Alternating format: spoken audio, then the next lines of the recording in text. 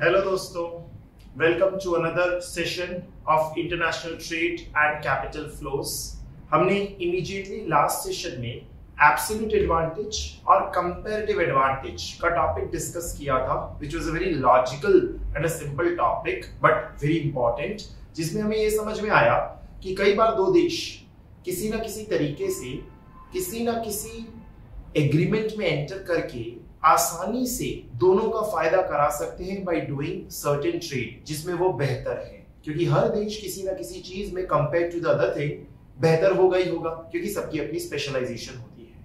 तो कैसे in trade agreements को बनाया जाए और कैसी दुनिया में अलग अलग मॉडल्स एग्जिस्ट करते हैं, उसकी ये हमारा छोटा सा थियोरी वीडियो सेशन है। वैसे थियोरी है, लेकिन इस पे आसानी से क्वेश्चंस बनी जाते हैं एग्ज़ाम में। हम यहाँ पर इस सेशन में डिस्कस करने वाले हैं अबाउट ट्रेडिंग ब्लॉक्स और रीजनल ट्रेड एग्रीमेंट्स यानी कि कई सारे देश मिलके अपने बीच में समझौता कर लेते हैं कि हम लोग एक जैसी चाल चलने वाले हैं या हम लोग एक जैसे एग्रीमेंट रखने वाले हैं। बाकी देश हमारे लिए नॉन मेंबर्स हैं और हम मेंबर हैं। इस तरह से जो रीजन एक ही रीजन को बिलोंग करने वाली कंट्रीज़ होती है जनरली नेबरिंग कंट्रीज़ होती है, वो एग्रीमेंट एंटर करते हैं, जिन्हें हम आरटीए बुलाते हैं या ट्रेडिंग ब्लॉक्स बुलाते हैं। इन एग्रीमेंट्स को करने के पाँच मेन हमारे मॉडल्स होते हैं। इन पाँचों मॉडल में से कोई भी मॉडल यूज़ किया जा सकता है डिपेंडिंग अपॉन आपका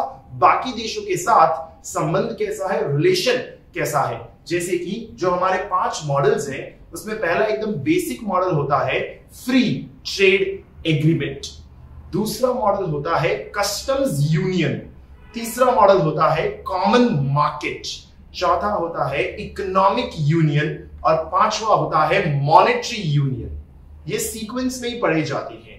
बिकॉज़ फ्री ट्रेड एग्रीमेंट बहुत कम रिस्ट्रिक्शंस के साथ आप एंटर करते हो किसी एग्रीमेंट में विद द मेंबर कंट्रीज़ जैसे जैसे आप आगे बढ़ते जाते हो customs union common market economic union monetary union और स्ट्रिक्ट होते जाते हो यानी कि जो एग्रीमेंट uh, है उसके अंदर क्लॉजेस भरते जाते हैं कि हमारे बीच में क्या क्या चीज़ें एग्री की हुई है। जैसे अगर कोई बेसिक फ्री ट्रेड एग्रीमेंट होता है तो समझो इंडिया और नेपाल ने एक एफटीए साइन किया हुआ है फ्री ट्रेड एग्रीमेंट साइन किया है। इसका मतलब इंडिया और नेपाल के बीच एक्सपोर्ट इंपोर्ट के जितने भी बैरियर्स हैं, वो सब हटा दिए गए हैं।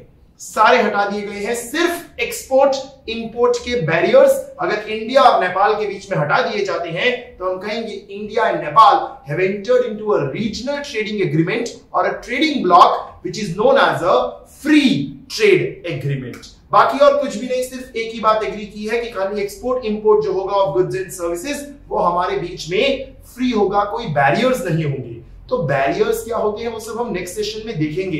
टेरिफ लगाना कोटास लगाना, ऐसे कई सारे बैरियर्स आते हैं हमारे जो सारे हटा देना।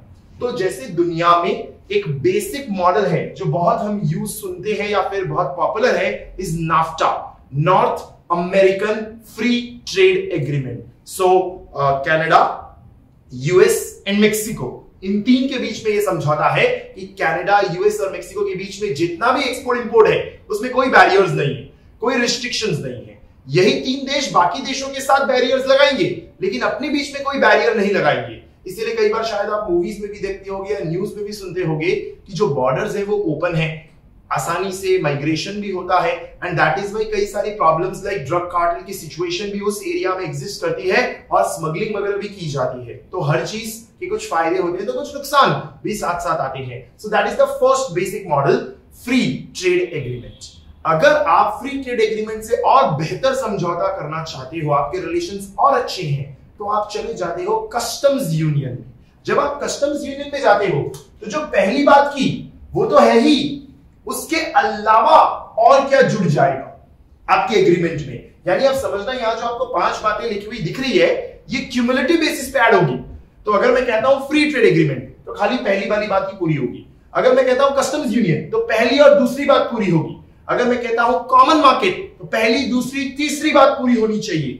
अगर मैं कहता हूँ इकोनॉमिक यूनियन तो पहला, दूसरा, तीसरा, चौथा बातें पूरी होनी चाहिए। और अगर कहता हूँ मॉनेटरी यूनियन मतलब सारी पाँचों बातें पूरी होनी चाहिए। तो अगर कुछ देश मिलके अपने बीच में कस्टम्स यूनियन बनाना चाहते हैं सो उनके बीच में बैरियर्स टू एक्सिम तो हटा ही देंगे हम। साथ साथ में इन देशों का एक common set of trade restriction होगा विद द नॉन मेंबर्स यानी कि एफटीए में फ्री ट्रेड एग्रीमेंट में यूएस मेक्सिको और कनाडा इंटर हुए। तो उनके बीच में तो फ्री ट्रेड है रिस्ट्रिक्शंस नहीं है।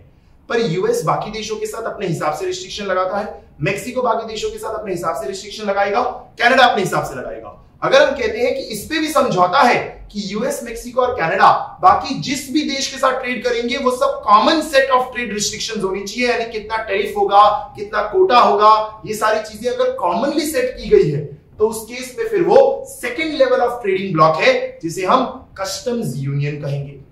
जिसका एक एग्ज़ाम्पल दिया हुआ है Benelux Benelux is nothing but Belgium Netherlands and Luxembourg तो बेल्जियम, नीदरलैंड्स और लग्जमबर्ग के बीच में एक ऐसा एग्रीमेंट हुआ हुआ है, जिसके अंदर ये तीनों अपने बीच में तो फ्रीली ट्रेड होने देते ही हैं और तीनों ने मिलके बाकी दुनिया के साथ जो ट्रेड करना है, इसका कॉमन सेट ऑफ़ रूल्स बनाया है कॉमन सेट ऑफ़ रिस्ट्रिक्शंस बनाए हैं।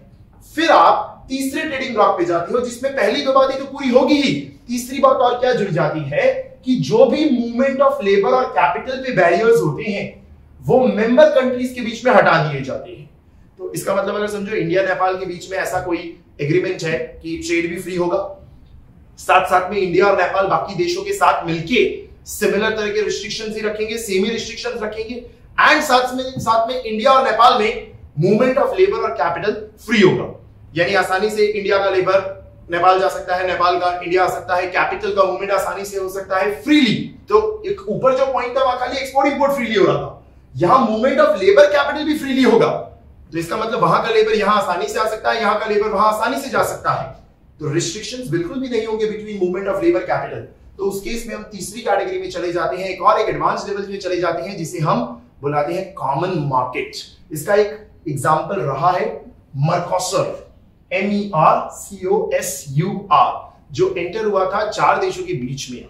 Brazil, Argentina, Paraguay and Uruguay इन चार देशों के बीच में एंटर हुआ था। ये आपको याद नहीं रखना है बट ये आपकी जानकारी के लिए थोड़ा बताया जा रहा है। एग्ज़ाम में आपको ये नहीं पूछेंगे उसका एक एग्ज़ाम्पल बताओ। वो बहुत रेयर सिचुएशन हो गई। सिर्फ़ आपको जानकारी हो कि हाँ भाई हमारे दुनिया में कैसे कैसे एग्रीमेंट्स कौन से कौन से देशों ने कभी इतिहास में किए हैं या अभी किए हुए हैं। सो so, मर्कोसर जिसके अंदर कवर होते हैं ब्राज़ील अर्जेंटीना पैराग्वाई यूरुग्वाई। तो उन्होंने एग्रीमेंट क्या किया है? उनके उन चार देशों के बीच में फ्री ट्रेड भी होगा। बाकी देशों के साथ सिमिलर तरह के रिस्ट्रिक्शंस रखे गए हैं। एंड इन चारों देशों के बीच में मूवमेंट ऑफ़ लेबर और कैपिटल आसानी से होगा। चौथा पॉइंट जब ऐड हो जाता है तो वो इकोनॉमिक यूनियन बन जाता है, जिसके अंदर सारे देश मिलकर पहले तीन पॉइंट पे तो सहमत है ही। उसके अलावा कॉमन इंस्टीट्यूशंस बनाते हैं कॉमन इकोनॉमिक पॉलिसीज़ बनाते हैं। जैसे कि बेस्ट एग्जांपल हो जाता है, बहुत रेगुलरली हम सुनते हैं EU that is the European Union जिसका एक ही कॉमन सेंट्रल बैंक भी हो गया। यूरोपियन सेंट्रल बैंक ईसीबी तो they have common institution monetary institutions भी कॉमन हो जाती है एंड इकोनॉमिक पॉलिसीज़ भी एक साथ मिलकर ही बनाई जाती है, जो फ़िज़िकल पॉलिसीज़ वगैरह होती है, जो गवर्नमेंट डिसाइड करती है टू रन एन इकोनॉमी और जब आप एक लेवल और ऊपर चले जाते हो, और ऐसा कहते हो कि हमारी सारी मेंबर कंट्री में एक ही करेंसी यूज़ होगी। कॉमन करेंसी सब अपनी अपनी करेंसी नहीं यूज़ करेंगे। सिंगल करेंसी तो आप उस केस में चले जाते हो मॉनेटरी यूनियन पे, जिसके अंदर ऊपर की बातें तो पूरी हुई हुई साथ साथ में सिंगल करेंसी है, जिसका बेस्ट एग्जांपल इज़ यूरोजोन जहाँ हम जानते हैं हर जगह यूरोज ही यूज़ होते हैं। खुद की कंट्री का, खुद का कोई करेंसी यूज़ नहीं होता है। जैसे रिसेंटली हमने सुना था ब्रेक्सिट रिसेंटली तो नहीं, अब काफ़ी टाइम हो गया बट ब्रेक्सिट तो ब्रिटेन ने एग्जिट किया था कि भाई हम हमारी करेंसी चलाएँगे, हम इस यूनियन से बाहर निकलना चाहते हैं।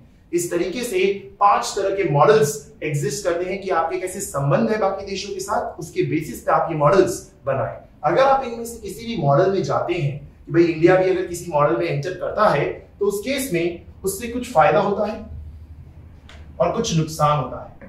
There are certain benefits there are certain cost that is limitation हमेशा किसी भी चीज़ में होता है। Every coin has two sides एक तरफ़ है तो दूसरी तरफ़ कुछ नुकसान भी होगा ही। तो हमें ये इंश्योर करना ज़रूरी है कि ऐसे एग्रीमेंट्स करने से जो फ़ायदा है, वो नुकसान को बीट करे। If the trade creation due to such agreements is more than the trade diversion, then it is beneficial. We should enter into such agreements for the greater good. However, if it is not the case, then it does not make sense.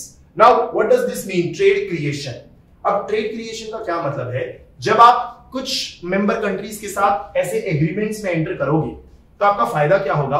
कि अपने ही देश में जो चीज़ें domestically बनती थी, पर high cost पे बनती थी, वो अपनी मेंबर कंट्रीज़ से रिस्ट्रिक्शंस हट जाने की वजह से सस्ते में इंपोर्ट होने लगेगा। So the high cost domestic content will be replace with low cost import from the members from the member countries of your trading blocs which will be an advantage कि पहले कुछ चीज़ें हम महँगे में बना रहे थे क्योंकि इतना स्पेशलाइजेशन नहीं था, पर जिसके साथ हमने ट्रेडिंग ब्लॉक एंटर किया है, उनका उस चीज़ में स्पेशलाइजेशन है तो वो अब हम सस्ते में इंपोर्ट कर पा रहे हैं मेंबर कंट्री से आ रहा है तो ये एक फ़ायदा है। लेकिन फिर नुकसान क्या है? कई जगहों पे आपने जिन कंट्रीज़ को नॉन मेंबर कर दिया, जो आपके ट्रेडिंग ब्लॉक का पार्ट नहीं है, आपके आरटीए का पार्ट नहीं है रीजनल ट्रेडिंग एग्रीमेंट का पार्ट नहीं है, उन देशों से कुछ चीज़ें सस्ती आ रही होगी, क्योंकि उनके पास वो एडवांटेज था लो कॉस्ट इंपोर्ट थे नॉन मेंबर कंट्री से।